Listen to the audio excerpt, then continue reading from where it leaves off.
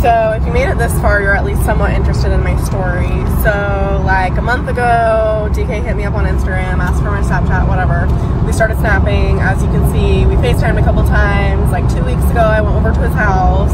I have his address. His house has no security whatsoever. Um, and then he hits me up.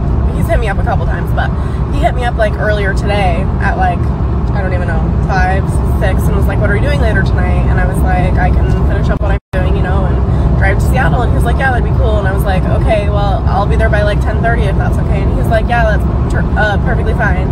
Um, continues gaming, which he does like every single night, and then it gets around to like time for me to go to like be on time, you know.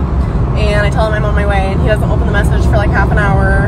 Um, and then he said, "Okay, what time?" And I said, "Again, I'll be there around 10." Well, I'm an hour away, and he calls me, and he's like, "That might be a little too late." And I'm like, "Are you being serious? Like what?" Like, "That, that how close are you?" And I was like, "I'll be there in an hour." He's like, "In an hour?" And I was like, "Yeah." And he was like, "Well, that might be a little bit too late." And I'm like, "So you're telling me I need to turn around?" And he was like quiet for a little bit, and then he was like, "Yeah." And I was like, "I just hung up." And then he texted me and he's like, You just hung up? And I'm like, Was I supposed to stay on the fucking phone? Like, I had to change my maps to figure out how the fuck to get home. Um, and I was just fucking pissed. And he sent me like some dumb emoji and I just left him on red. And then he tried to, this motherfucker tried to FaceTime me like 15 minutes later. I'm already like 15 minutes closer to home. And he tried to FaceTime me and I just declined it because I'm like, I'm not going to turn around again just because you feel bad. Um, when he called me the first time, there was like a bunch of background noise, like he was at a bar or something. So like either he's interested in a girl there, or he was just having second thoughts. I don't fucking know.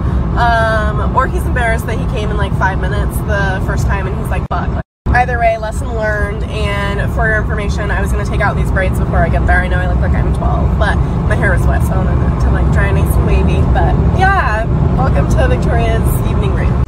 So I apologize. I just realized there was a lot of background noise. I was like so angry. I was starting to break a sweat, so I cracked my windows for all those videos. Sorry, y'all. I am fucking dead. So so many of y'all are asking me. I deleted the videos of like the rant. So long story short, I was supposed to go to DK's, drove halfway there. He told me to turn around and go home. I was fucking pissed, whatever.